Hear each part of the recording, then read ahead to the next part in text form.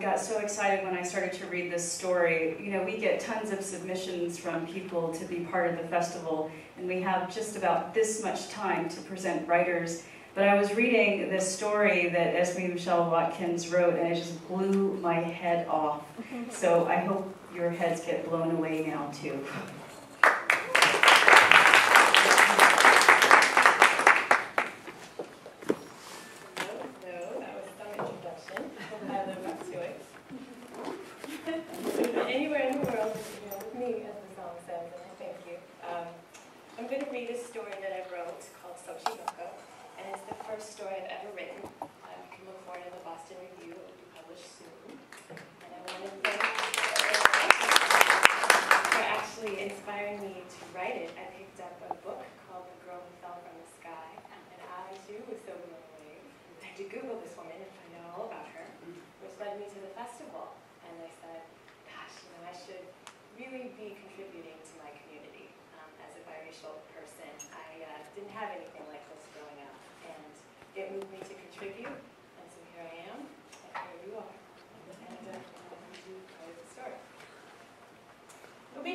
need to know is Orient Shoes. It's, it's a biracial family, um, and they have a father dealing with substance abuse problems. So if I skip back and forth through the story, you'll know where we are.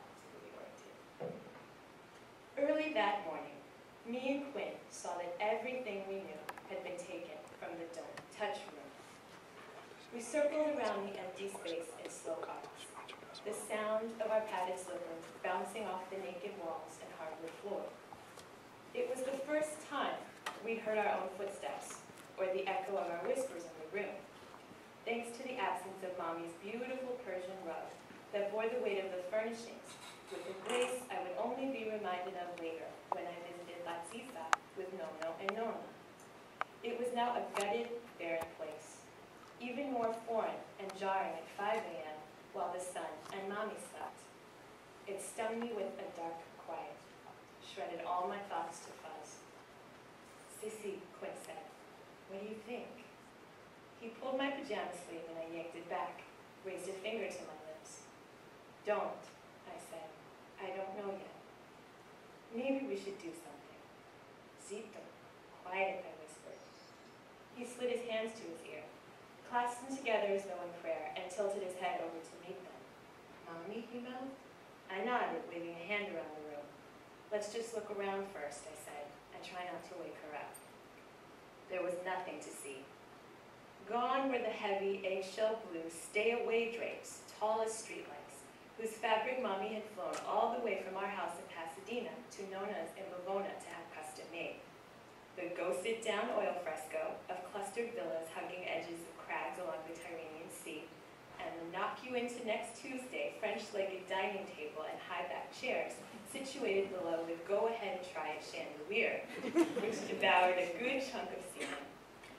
And the Touch and Lose Your Life small crystal bowls, where Mommy kept my favorite Sorrento lemons, sweet like oranges. Missing too was the Cabinet of Doom, larger than two hall closets, which housed the finest of Mommy's That's a No-No clique, Baccarat, Tiffany, JL, Cocaine, and. It was a room for outfits and occasions now stolen and without, save for the cud-colored footprint at the far end, caddy corner to where the cabinet had been. An uninvited mark on the place we dared not enter. Even at my first communion, when pocket flask Uncle Mel, who liberally invoked the don't touch exception clause between hidden swallows and sips, waved us in. We crouched low against the baseboards to inspect the footprint, motioning to each other in careful gestures so Mommy wouldn't hear. I could count on Mommy to sleep heavily most of the time, but I didn't want to chance waking her up like this. Her jetting down the stairs faster than a falcon, me and Quinn not knowing what to say. Those days she'd watched so much of our lives disappear, with little to be done about it, and she wasn't wearing it well. She was up nights, and didn't wrap her hair in olive oil and milk on Saturday mornings anymore. She didn't take me and Quinn for ice cream either, just said something distant like pasta while she switched from one nightgown to another. Quinn started for the door. Wait, I said, wrapping my hands around the short brass doorknobs Daddy made us polish every Sunday, though no one had turned them. When Daddy was around, he never let us slip. No matter how often we pounded him with questions about it, he just threw up a hand and tossed out the reductive. Why is a crooked letter, he would say, from his office across the hall, his eyes never leaving the mountains of casebooks and red wells of files and transcripts. He exposed and dismantled every plot we schemed to skip clean like magic. Everything you can imagine doing, he'd say, I already know. Quinn made his way to the windows, studied each long pane, grabbing at the void where the drapes hung before the front lawn, necklaced in low-lit morning. The pragmatic one, even at eight years old, he knew to collect his thoughts away from the loss. Let's go in a little while, sissy, he said. It's too dark in here. I found myself in the middle of the room on my knees, willing it to speak to me about what happened there. What I saw was Christmas.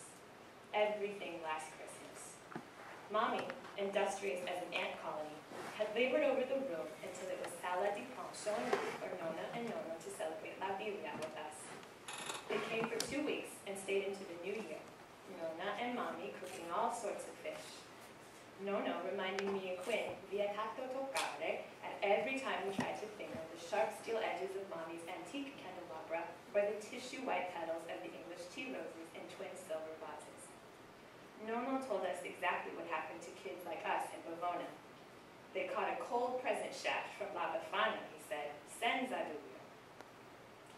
There were whisperings over meals, over grappa, when Daddy wasn't around. Nona asking Mommy how the Marocchino afforded such a room. Nono asking Mommy what business needed tending to late at night when Daddy guarded himself away in his office. Me and Quinn had been to Bavona enough to know that Daddy wasn't no and had never set foot in Morocco. He was black. Even though Nona and Nono knew this too, and knew well that he was a successful lawyer with his own practice, they said it to cut Mommy. To remind her that in 1984, she made a decision tailored to court the worst sort of malocchio upon me, Quinn, Bavona,